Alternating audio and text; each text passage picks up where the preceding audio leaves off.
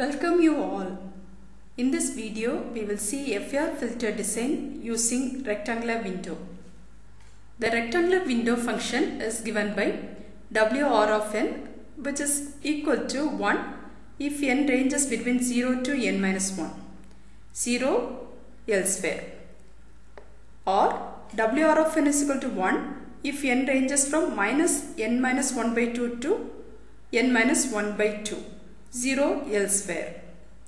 The rectangular window sequence is represented like this for capital N is equal to 21. Here it is ranging from minus n minus 1 by 2 to n minus 1 by 2 that is from minus 10 to 10. Other regions the value will be equal to 0.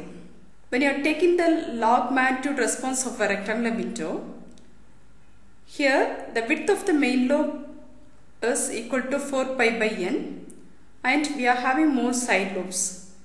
The peak side lobe magnitude in terms of dB it is equal to minus 13 dB.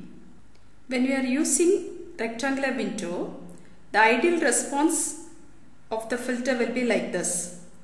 But in real cases the response will be oscillating in the passband as well as in the stop band.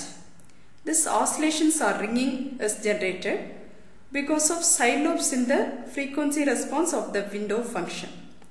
This oscillatory behavior it is called as Gibbs phenomenon.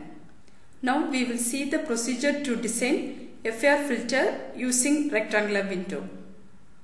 First we are going to choose the desired frequency response of the filter that is hd of omega. Next we are going to obtain the desired impulse response hd of n from the frequency response hd of omega by taking the inverse Fourier transform. hd of n is given by 1 by 2 pi integral minus pi to pi hd of e power j omega that is the desired frequency response multiplied by e power j omega n into d omega. Next we have to choose the window in sequence. Here we are going to choose the rectangular window. The rectangular window is given by WR of n which is equal to 1 if it, n lies between 0 to n minus 1. 0 elsewhere. Now we are going to convert infinite duration impulse response to finite duration impulse response. For that we are going to multiply infinite impulse response by a window. So it will be converted to a finite impulse response.